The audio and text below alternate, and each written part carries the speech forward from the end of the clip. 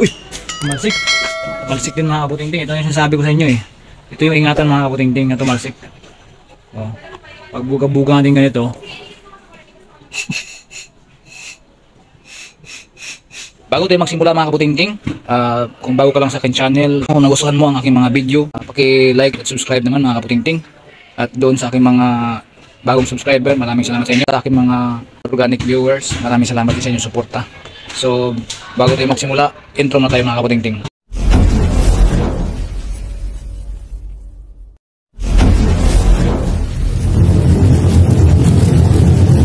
What's up mga kabutingting? Welcome back ulit sa ating channel. Ayan, isang mga pagpalang araw sa ating lahat mga kabutingting. For today's video mga kabutingting ay meron po tayong gagawin. Meron tayong dalawa ditong Panasonic na heater. Ano yan, multi-point siya mga kabutingting. Multi-point. So, ibig sabihin ng multi-point mga kabutingting ay yung ano, ah, ang nagpapagana sa kanya ay yung pressure. Yan, pag walang pressure, hindi to siya gagana. So, ang sabi sa akin ng boss ko mga kabutingting, ito yung kanilang ginagamit ay tumutulo. Tumutulo na yung daw yung dito niya. Tapos yung isa naman, ito ay hindi gumagana. So titingnan natin kung ano ang dahilan bakit hindi gumagana tong dalawang to. So yun mga kaputingting, unahin natin to. So para buksan ito mga kaputingting, meron siyang tornilyo dyan. Tulad ng isa. Ayan meron. So ganito yung mga kaputingting, buksan natin to. Tapos dahan-dahanin mo lang ganitohin. Dahan-dahanin mo lang ganun din. Yun. So tabihan ko niyan. Sabi ng boss ko mga kaputingting ay tumutulo na yung dito. Dito na yung tumutulo. Ito dito daw. So i-check natin ito mga kaputingting no. Ah, mag-troubleshoot tayo kung talagang yun ang ang kanyang problema. Okay, kuha tayo ng tester.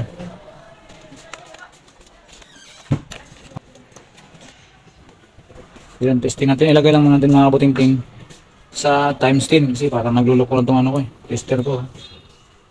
So, hindi na siya masyado accurate. Times 1. Wala oh. So, dito tayo sa times 10. Walang continuity pag times 1. So, nagluloko na yung anong ating tester. Ayan, i-troubleshoot natin yung ano niya mga kabutingting. Yung dito ay breaker. Ito yung breaker niya. Tapos yung kanyang triac. Switch relay. Yan. Ito yun. Tapos yung kanyang heater.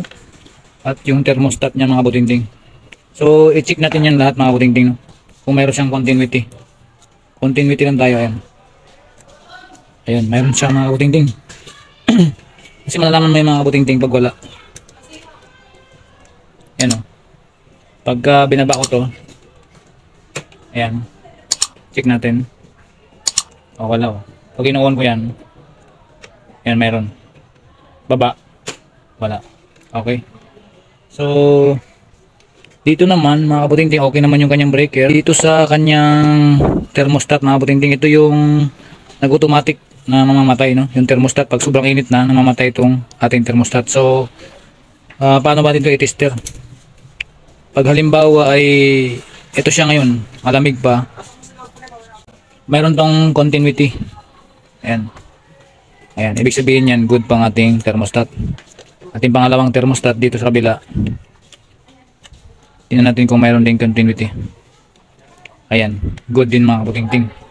So, tingnan natin yung ating heater. Ito, ito yung magkapares at saka yung ilalim. So, ito. Ito nakasara. So, check natin kung meron siyang buhay pa siya, buo pa. Yun. Pumalo mga butingting. Tingnan natin dito mga butingting sa kanyang diaphragm assembly. So, ito yung ito mechanism ng mga butingting. Ito yung nagdadala para ma gumagana tong heater. Ito yung nag ano, nag, nag ah, nagsi-switch, no? Nag-trigger dito. Dito sa ating switch, no? Yan. Para siya gumana mga putingting, no? Ang ating heater, kailangan tong ma mano niya ma yung karayom dito yun, no? Yung pulser dito sa lalim. Kailangan matulak niya tong ating switch. Yan, switch relay. Yan. Yan. Tingnan natin kung gumagana pa to. Maglagay tayo ng supply ngayon. Ito ang ating gamiting supply. Yung wire na to. Ayan, meron siyang plug. Tapos ito yung dulo niya. Kahit na walang tubig, try natin testing. So dito mo na ilagay yung kanyang supply.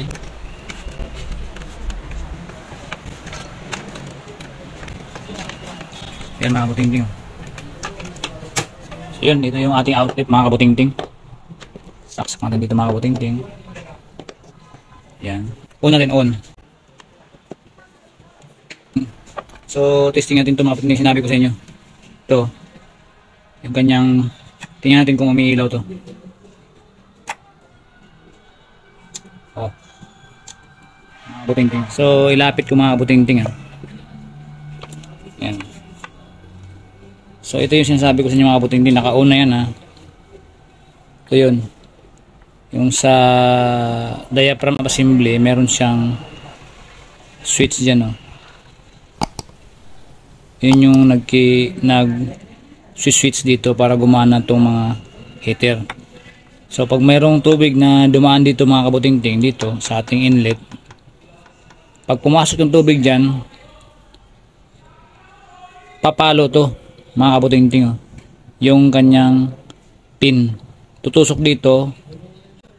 Tapos mag-uon yan. Yun mo. Oh.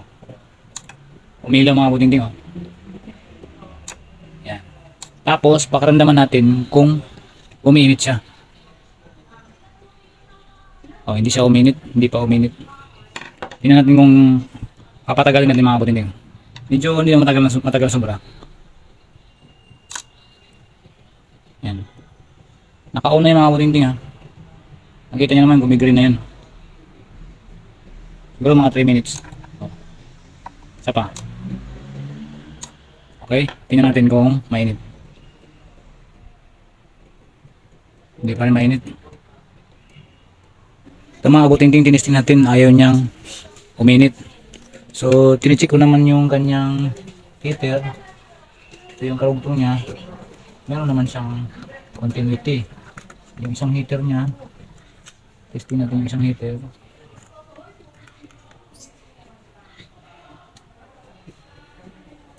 Hmm, meron naman. Ay bumabagsak. Ayun meron. Meron mga kabutingting. So buo pa yung kanya heater. Pero hindi siya umiinit. So dito lang muna to. Buksan natin yung isa. Para malaman din natin kung ano yung kaibahan ng dalawa. So alisin muna natin tong supply dito at ilipat natin doon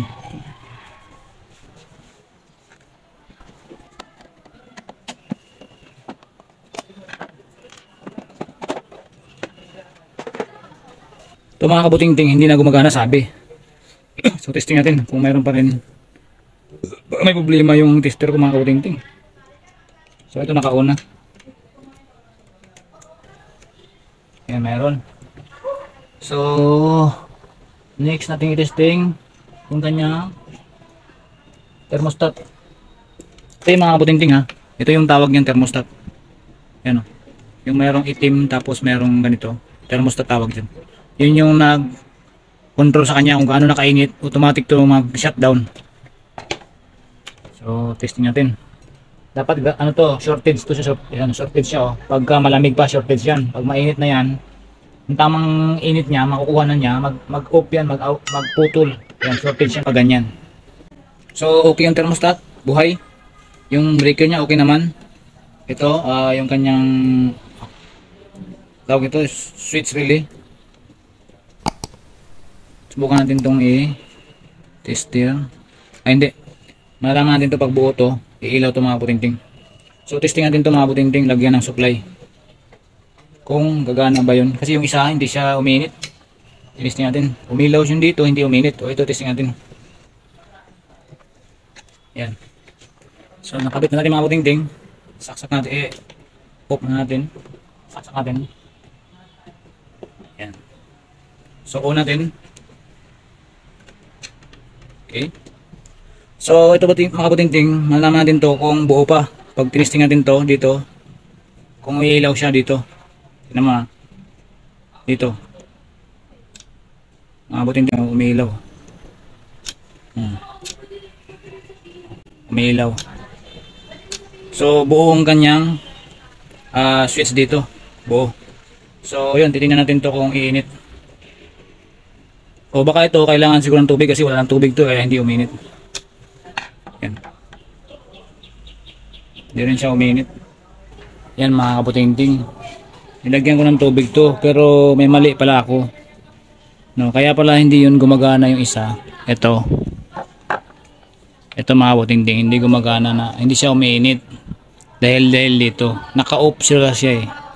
Naka-off pala yun, hindi ko napansin. So dito, ino-on, ino-on pa natin to kasi naka-off siya eh. Ngayon, ito mga kaputingting, nilagyan ko na ng tubig siya, konti lang sa loob. So malalaman natin kung mayroon siyang init.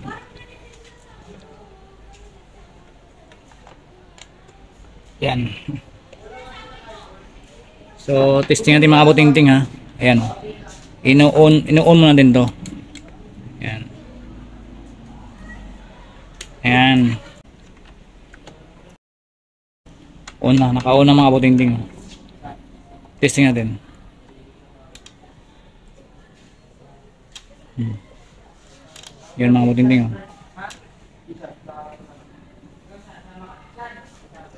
Hmm. Lumabas yung tubig mga kaputingting. Oh. Init. Oh. Napakainit mga kaputingting, hindi na mahawakan. Oh. So, okay mga kaputingting. Kasi mga kaputingting, dito sa takip niya, dito pala natin malalaman, oh, naka-off pala siya. So, may low, may medium. Hmm. Siguro naka-high to kasi saglit ko lang nilagay, ang init na.